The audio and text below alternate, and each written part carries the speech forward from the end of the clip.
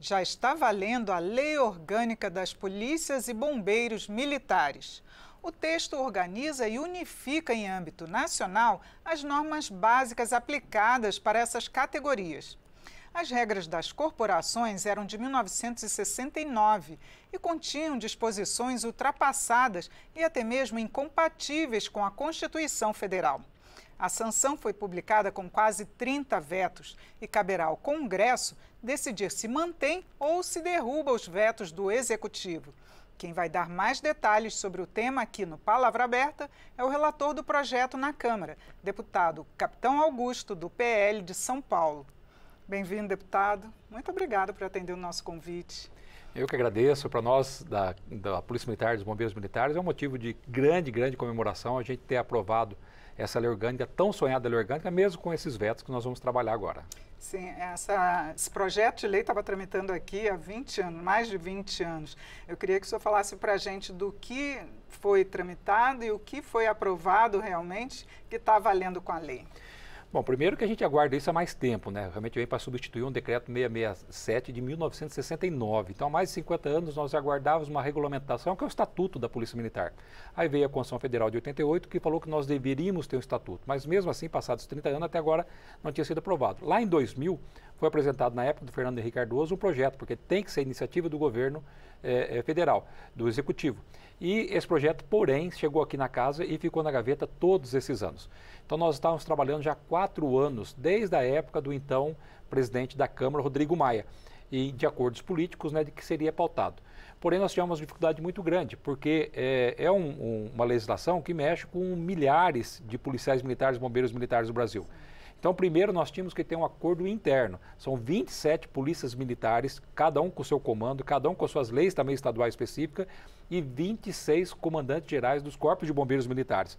E nós temos, junto com isso, as associações de praças, que representa a maior categoria nossa, e a, as associações de oficiais tanto a nível estadual quanto a nível nacional. Ainda então, tem os governos estaduais, né? Sim, ainda tem os governos né, que têm interesse. Então, para ver o tamanho da dificuldade que nós tivemos, primeiro internamente, passamos três anos fazendo reunião com todos os estados, todas as associações, para que a gente pudesse chegar a um acordo. E fora a questão da Polícia Militar, ainda tem outras, eh, outros órgãos, como a Polícia Civil, Polícia Federal, Polícia Rodoviária Federal, que também estão acompanhando para que é, não tenha nenhum, nenhum texto que vá, digamos, entrar na, na área deles. Compatível e que seja compatível, né, que a gente esteja, digamos, entrando numa função que é específica para eles.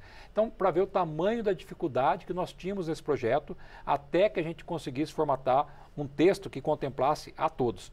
E finalmente, realmente, nós conseguimos, aqui na Câmara dos Deputados, né, nós conseguimos praticamente com aprovação unânime, todos os partidos, inclusive o pessoal da esquerda. Lá pelo Senado, foi o senador Fabiano Contarato, do PT, que pegou a relatoria, até para facilitar essa questão do, do espectro ideológico, direita e esquerda junto, né, que aí não tem nem ninguém para questionar, é aprovado. Então, lá no Senado também foi aprovado sem alterações e nós tivemos essas sanções presidenciais. Então, essa sanção, né, a gente estava aguardando no início cinco vetos, aí depois é, havia uma expectativa de 61 vetos, que seria muita coisa para nós, e acabou-se é, firmando com quase 30 vetos, 28 vetos para ser mais precisos. Quais são esses vetos, os principais assim desses 28? Então, desses vetos, né, nós selecionamos para estar tá fazendo esse trabalho agora para derrubada de vetos em, em torno de cinco vetos. Né? Os outros 23 nós não consideramos tão essenciais, não desfigura o projeto e também, é, mesmo com esses vetos, nós já temos garantias em cima do que nós tínhamos proposto através da Constituição Federal e de outras leis.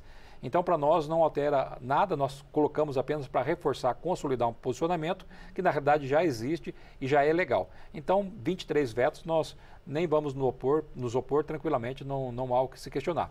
E cinco vetos que nós consideramos que são essenciais para nós. Né? É, são três institucionais, que fortalece realmente ou dá garantias jurídicas para a instituição Polícia Militar e Bombeiros Militares e dois vetos que tratam da questão dos direitos dos policiais, em especial na questão da carreira eh, dos praças dos oficiais. Então é isso que nós vamos estar trabalhando agora. Eu acredito né, que faltou até um, é, uma solicitação de uma explicação melhor por parte do governo, porque havendo essa explicação, eu tenho certeza absoluta que sequer seriam vetados esses pontos. Não, não, não, há, não há motivo para veto para esses pontos. Então a gente está muito confiante né, de conseguir um acordo para a derrubada desses cinco vetos, né? E pode-se manter os outros 23 que foi proposto. Agora, o Congresso tinha aprovado a proibição dos policiais, bombeiros, de eh, participarem de partidos políticos, emitir opinião, seja por redes sociais e tudo, opiniões políticas. Isso foi vetado pelo governo federal. Esse está entre os vetos que eh, vão permanecer, que o Congresso não vai mexer? A gente não pretende trabalhar nesses vetos, a gente especificou os outros cinco. Quais são? Porque esses aí, é, só, só para explicar, essa questão da, da manifestação, né, já existe a regulamentação interna da Polícia Militar, o regimento interno disciplinar, nós temos o Código Penal Militar. Então, as vedações como está permanecem, então não altere nada. Nós só tínhamos, só tínhamos reforçado o posicionamento do que o policial militar pode e o que não pode, mas tudo que já existe previsão legal, né, tanto na Constituição Federal quanto eh, em decretos-leis, nas, nas leis infraconstitucionais. Então, essas outras questão dos vetos, para nós, é mais importante, que é a questão da, da garantia de, por exemplo, de, da, das, de cursos que permitam o policial ser promovido, porque tem vários estados em que o policial é, não tem um curso específico para ele galgar de cabo para sargento, de sargento para subtenente, subtenente para oficial, e o Estado não promove esses cursos, não manda esses policiais para outros estados para fazer esse curso, e então a carreira fica totalmente estagnada. E isso é um grande desestímulo até mesmo, né, de incentivo para que o policial possa trabalhar. É, então, é um dos pontos que a gente pretende realmente estar tá trabalhando para a derrubada do veto. Tem um veto também referente à reserva de vagas para mulheres. É, como é que vai ser tratado? Isso foi, eu acredito, foi um grande erro por parte do governo. Hoje você não tem é, um número mínimo de vagas para a, a, as mulheres. Ah, é? Então você pode, por exemplo, abrir um concurso e ter 1%.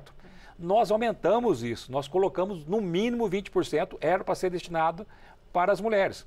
O governo entendeu de forma errada.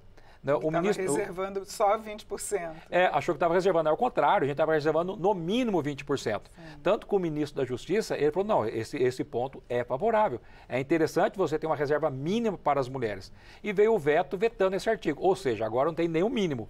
Então, vai ter, eh, vai ter polícias eh, militares, bombeiros militares, que vai ter zero policial feminina, porque não tem um mínimo para ser obedecido.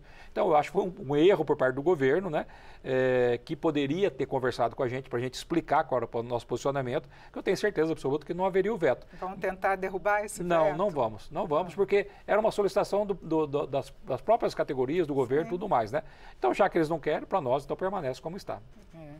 É, tem mais também uma situação aqui sobre a criação de ouvidorias, é, que também foi vetado, porque as ouvidorias ficariam subordinadas ao comandante-geral e não à Secretaria de Segurança. Esse veto, como é que vai ser tratado? Porque é, realmente não haveria um corporativismo se continuar assim? Na verdade, nós já temos e vai continuar tendo. Toda instituição tem sua ouvidoria interna e tem sua ouvidoria externa, que é, é vinculado direto ao, ao governo é, estadual. Então, nós só estávamos esclarecendo o que já existe hoje. Então, o vetor permanece da mesma forma. A Polícia Militar continua com a sua ouvidoria interna e temos a ouvidoria externa. Então, é um veto também que seria desnecessário ao, ao nosso, do nosso ponto de vista. Não haveria necessidade nenhuma, né, porque vai permanecer como está.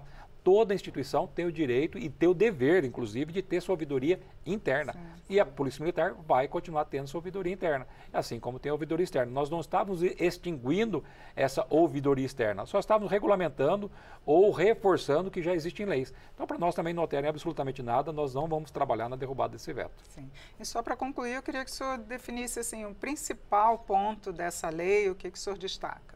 Bom, para nós, né, em termos de instituição, é, fortalece e dá uma segurança jurídica muito grande para nós. É um projeto que é o maior projeto que estava tramitando de interesse das polícias e bombeiros militares do Brasil, era o nosso estatuto, a nossa lei orgânica, algo que a gente sonhava há muito tempo. E também vem para garantir vários direitos para os nossos policiais. Então, que, coisas que não estavam garantidas, que vários estados cumpriam, outros não cumpriam. Como, por exemplo? O, a, a, questão da, da uma limitação de jornada de trabalho, a questão ah. de vários direitos, né, é, já, já respeitado em alguns estados, mas outros estados não. E a gente vem também para padronizar, o que é importante, porque nesse estatuto a gente cuida desde a entrada do ingresso do policial, estabelecendo a carga é, é, educacional para aquele soldado, até mesmo depois da aposentadoria. Sim. Então, rege a nossa vida toda. Então, é o maior projeto que nós tínhamos, era o mais sonhado que nós tínhamos, aguardamos isso aí durante muito tempo e, apesar dos vetos, nós estamos muito, muito felizes mesmo, comemorando muito né, a sanção presidencial da nossa tão sonhada lei orgânica das polícias militares e bombeiros militares. Deputado, muito obrigada por sua atenção de vir aqui explicar esse projeto que agora virou lei. Eu que agradeço, né, e eu os parabéns estendo para todos os policiais militares e bombeiros militares do Brasil. Eu conversei sobre a Lei Orgânica das Polícias Militares e do Corpo de Bombeiros. Foi com o relator do projeto aqui na Câmara, deputado Capitão Augusto, do PL de São Paulo. Eu sou Regina Assunção, agradeço a sua audiência. Até a próxima.